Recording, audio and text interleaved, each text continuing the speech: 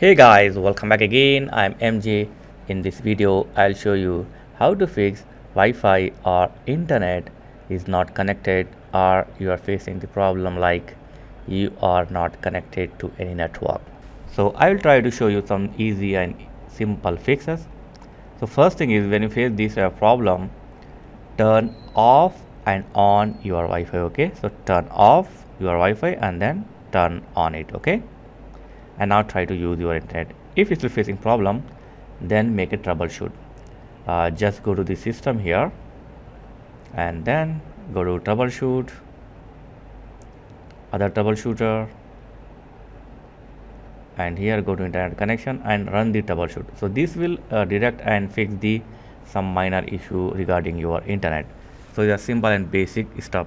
If you're still facing problem then the third method is uh, right click on the network okay? Go to properties and change adapter setting click on this and select your Wi-Fi or internet. Right click on it and click on disable okay? After disable wait few second and then enable it. So disable and enable your Wi-Fi.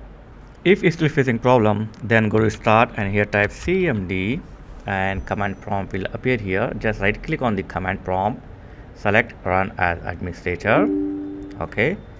Now type this command one by one. Okay. So first type this command like net sh space winsock space reset and hit enter. After this type this net sh int space ip space reset and hit enter. So type the all this command one by one and hit enter after each commands. Okay. So after this close the your command prompt and restart your pc and try to use your internet. So this will fix your problem okay? These are powerful method to fix the internet issue. If you're still facing problem then right click on this pc click on manage select the device manager and here extend the network adapter. Here find your network okay? So right now i am using the wireless network. So select your network right click on it and click on update driver and now select browse my computer and then click on let me pick from a list.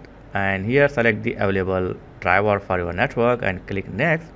After the driver installation complete reboot your pc okay? And if it's not work then the last method is uh, go to start and then setting and network and go to advanced network setting.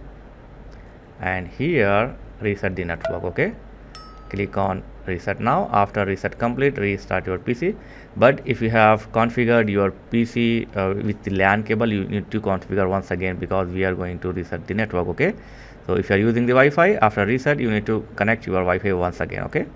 So the five or six method i have showed. So let me know in comment which option or which method fix your issue so thanks for watching guys. Catch you next time. Please like share and subscribe. Thank you very much